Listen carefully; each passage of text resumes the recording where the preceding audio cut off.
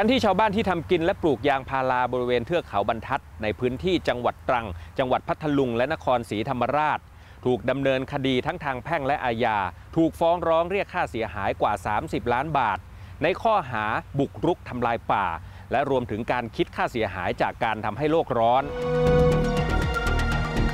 ข้อพิพาทระหว่างกรมอุทยานแห่งชาติสัตว์ป่าและพันธุ์พืช กับชาวบ้านบริเวณเทือกเขาบรรทัด 3 จังหวัด คือ พัทลุง ตรังและนครศรีธรรมราชยังคงมีอยู่ ทั้งการใช้อำนาจเข้าตัดโค่นสวนยางพาราของชาวบ้านในเขตอุทยานแห่งชาติเขาปู่เขาย่าอำเภอชะอวด จังหวัดนครศรีธรรมราช และการติดป้ายประกาศ ขณะที่ชาวบ้านเลือกใช้ประเด็น การอยู่มาก่อนที่รัฐจะประกาศเขตอุทยานแห่งชาติ เขตรักษาพันธุ์สัตว์ป่า รวมทั้งเขตห้ามล่าสัตว์ป่า และวนอุทยานต่างๆ เป็นคำอธิบายเพื่อยืนยันถึงสิทธิของการใช้ประโยชน์ที่ดินมายาวนาน เพื่อไม่ให้ถูกฟ้องร้องเรียกค่าเสียหาย และทำให้เกิดภาวะโลกร้อนเหมือนอย่างที่เคยเกิดขึ้นกับชาวบ้านในพื้นที่จังหวัดพัทลุงและตรัง ที่ยังต้องต่อสู้คดีจนถึงวันนี้รักษาป่าด้วยดูแลสัตว์ด้วยก็เราดูแลสิ่งแวดล้อมด้วยก่อนหน้านั้นตั้งแต่ปี22ฉันก็ทำมาแล้ว แต่ว่าก็สู้ภาคภาคทุนไม่ได้พอปี43มันมันมันเกิดประเด็นร้อนขึ้นอย่างนี้ทำให้ชาวบ้านเนี่ยเดือดร้อนขึ้นเราก็ไปรวมตัวกันที่หน้าอำเภอถุงสงหลังจากนั้นพศ2544เราก็ขึ้นร่าง นโยบาย3เมษายนที่ทำเนียบ เพื่อจะให้เราได้อยู่กินในที่ดินทำกินเดิม อย่าให้เจ้าหน้าที่คุกคุกคามเรา ที่จริงบางบางพื้นที่นะครับ บางพื้นที่โดยเฉพาะในส่วนจังหวัดตรังเนี่ย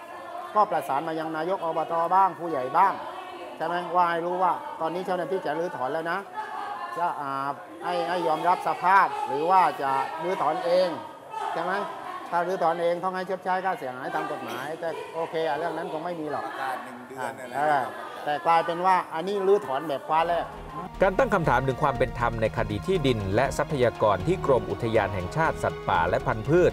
กระทรวงทรัพยากรธรรมชาติและสิ่งแวดล้อม ฟ้องร้องทางแพ่งเรียกร้องค่าเสียหายทำให้เกิดเครือข่ายองค์กรชุมชนรักเทือกเขาบรรทัดและเครือข่ายปฏิรูปที่ดินแห่งประเทศไทย หรือคอปท ที่เรียกร้องให้กระทรวงยุติธรรมใช้เครื่องมือสำคัญ นั่นคือกองทุนยุติธรรม